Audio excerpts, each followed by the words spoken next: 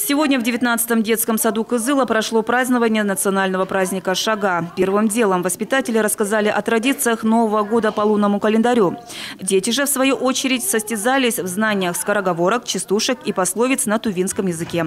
По словам воспитателей, все познавательные и развлекательные мероприятия направлены на то, чтобы детям было комфортно и интересно знакомиться и изучать тувинскую культуру. Воспитанники порадовали пришедших мам и пап подготовленными творческими номерами. Зажигательный танец Чилерой также неотъемлемая часть национального праздника. Завершилось праздничное мероприятие песней «Шага» в исполнении дошколят.